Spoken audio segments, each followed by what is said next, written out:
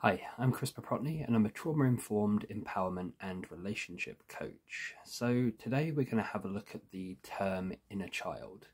So, what does this term actually mean and how does it apply to ourselves? So, when it comes to the inner child, there's a psychological aspect that basically says that there is a part of everyone that is still childlike in nature. So, it gives us part of the story, but not the full story. However, when we apply it to ourselves, it basically relates and represents our early life experiences and memories. These can be both positively and negatively shaped, and they are usually formed during the developmental period of the first seven years of life. So, if we come from a background of loving and nurturing childhood, then what happens is it tends to show itself through joy, trust, security, then there's a sense of wonder and exploration.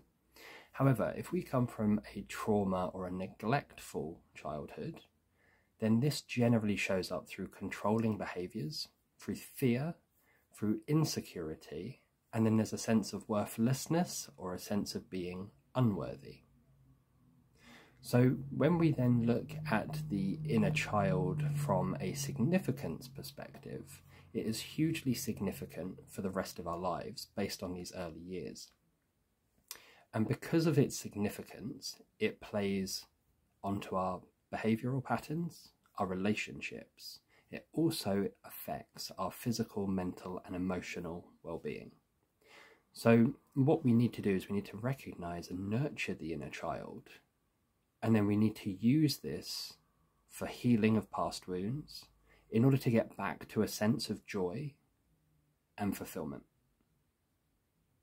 So, if any of these are resonating with you, or if you're having any struggles with any of these parts in life, then have a look and see because it may be time for some internal reflection, which will then potentially lead to healing of your inner child.